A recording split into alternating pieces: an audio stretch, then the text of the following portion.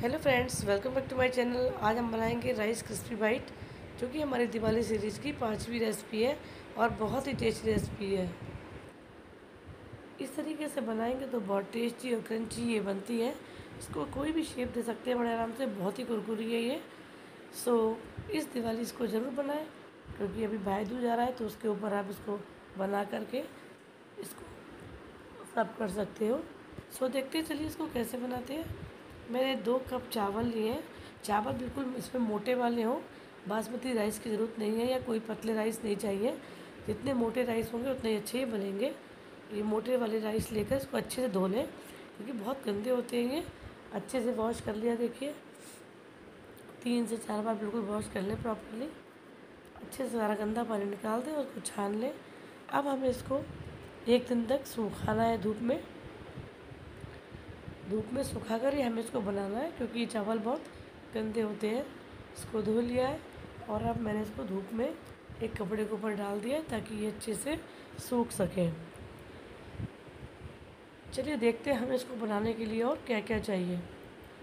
मैंने दो कप चावल लिए हैं थोड़ी सी चने की दाल, उड़द की वाइट दाल और चने, जो कि बिना छिलके के होंगे।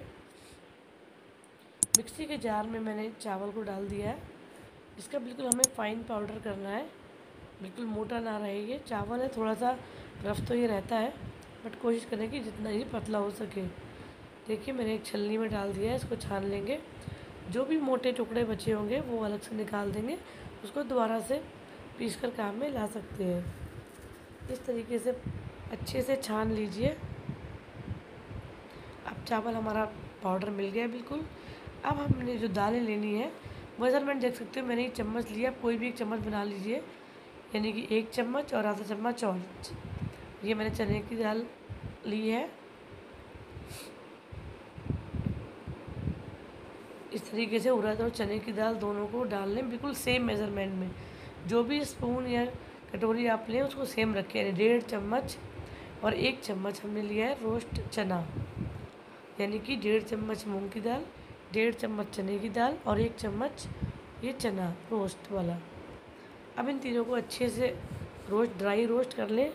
जब तक अच्छी सी खुशबू ना आ जाए, बस जलने ना पाएँगे। इनका कलर भी थोड़ा सा चेंज हो गया है। आप देख सकते हो। इस तरीके से ये अच्छे से रोस्ट कर लें। ताकि जितने अच्छे से भुनेंगे, उतनी बढ़िया हमारा ये नाश्ता बनेगा, जो कि हम चावल और दाल की हेल्प से बना रहे हैं इस दिवाली के खास मौके पर। अब बिल्कुल इसमें बढ़िया से खुशबू आने लगी है। इसको चलाते चलाते मैंने बढ़िया से बना लिया है और बस इसको अब निकाल करके हमें ठंडा करना है। जब तक ये बिल्कुल ठंडा ना हो जाए, हमें इसको पीसना नहीं है। उसके बाद ही हमें जो है इसको पीसना है। अभी बिल्कुल रेडी हो गया है। चलिए इसको अब एक प्लेट में निकाल देते हैं। देखिए, इसको मैंने निकाल दिया है और अब हमें इसका भी फाइन पाउडर ही करना है। उसमें भी कोई भी गांठे ना रह जाए। इस तरीके से मिक्सी में डालें। इसमें और कुछ भी ऐड नहीं करना है। बस सिंपली जो दाल हमने फ्राई की थी वो डालें और इसका अच्छा सा एक फ़ाइन पाउडर बना लें। बिल्कुल इस तरीके एकदम से फ़ाइन पाउडर बन गया है, इसको भी मिलकर हमें छानना है, क्योंकि छोटे छोटे टुकड़े कुछ रह जाते हैं। बिना छाने इसका यूज़ बिल्कुल ना करें, नहीं तो ये बहुत दरदरा लगेगा।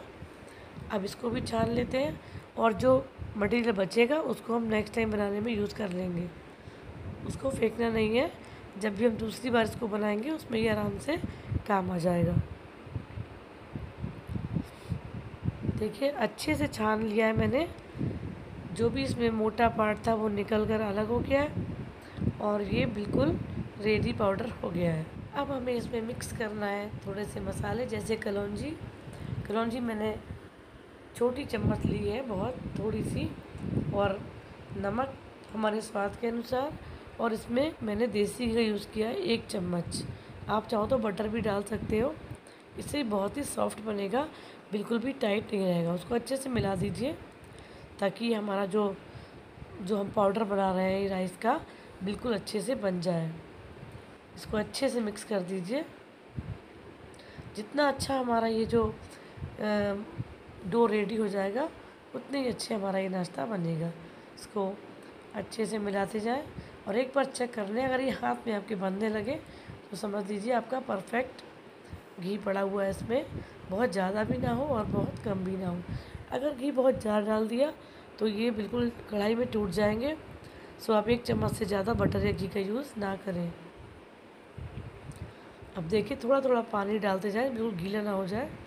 जितना ज़रूरत हो, एक बढ़िया से जैसे हम आटा गूंदते हैं, उसी हिसाब से हमने देखिए बना लिया है। एकदम डो हमारा रेडी हो चुका है। इसको साइड से रखते हैं, कम से कम 20 मिनट के लिए, क्योंकि इसमें चावल है। है, थोड़ा सा अच्छे स्पंज होने में टाइम लगता है। 20 मिनट बाद हमने एक इस तरीके का देखिए मोल्ड लिया है। जो स्टार वाला मोल्ड होता है, वो हमने इसमें डाल लिया है। और हमने इसमें जो, हमने जो दो रेडी किया था, उसके दो पीस मैंने इसमें डाल दिए। और अब तेल गरम करें और जो शेप आपको समझ आए, वैसे डाल दें। कोई भी रफ शेप आप बना सकते हो, क्योंकि जब इसको आप निकालेंगे तो ये छोटे छोटे पीस में अपने आप ही हो जाएगा। चाहे राउंड शेप दे दें, चाहे लंबा दे दें, जो शेप आपका बन रहा है वो आराम से दे दें। देखिए, मैंने रफली डाल दिया था, फिर भी ये कितने अच्छे बढ़िया बन गए हैं। इस कलर के होने तक हमें इसको अच्छे से फ्राई करना है। बस ये जले ना, इसका ध्यान रखें और स्लो फ्लेम पर इसको फ्राई करें। नहीं तो ये बिल्कुल कच्चे रह सकते हैं। आप देख सकते हो कितना बढ़िया कुरकुरा नाश्ता रेडी हो गया है। अब मैंने दूसरा जो दूसरी बार कुछ नया शेप देने की कोशिश की, जैसे कुछ राउंड अगर आपसे राउंड बन जाता है तो ठीक है, नहीं तो आप लंबे भी बना सकते हो। टेस्ट खाने में बहुत यमी है, बहुत कुरकुरा है आप जो शेप से आप आराम से बना सकते हो, बना लीजिए, क्योंकि इसका टेस्ट वही रहेगा और ये खाने में आपको ज़बरदस्त फ्लेवर देगा। क्योंकि इसमें कलौजी का फ्लेवर बहुत ही बढ़िया आता है। इसको भी स्लो फ्लेम पर ही डालना है, बिल्कुल भी हाई पर ना इसको रखें, नहीं तो ये बिल्कुल ऊपर से ही बस फ्राई होगा, अंदर से ये कच्चा रह जाएगा। थोड़ा टाइम लगेगा, लेकिन ये बहुत ही कुरकुरा बनेगा। और जब भी आप किसी के सामने इसको पेश करोगे तो सच में उसको बहुत पसंद आएगा। ये लीजिए, हमारा जो नाश्ता है, चावल का बिल्कुल रेडी हो गया है। इस तरीके से आप बनाएँगे तो जो भी ये खाएगा, वो आपकी तारीफ़ ज़रूर करेगा। सो इस दिवाली में, इस सीरीज़ में अगर आपको ये रेसिपी पसंद आई हो तो लाइक ज़रूर कर दें और कमेंट करके ज़रूर बताएँ कि आपको ये रेसिपी कैसी लगी और आपने इसको दिवाली पर बनाया। या नहीं? सो दोस्तों, देखते रहिए मेरे चैनल को। लाइक करना बिल्कुल ना भूलें। सब्सक्राइब कर लें चैनल को अगर आप चैनल पर नए हो। और इस तरीके की अच्छी अच्छी रेसिपीज़ देखने के लिए मेरे चैनल पर ज़रूर आएँ। Thank you so much friends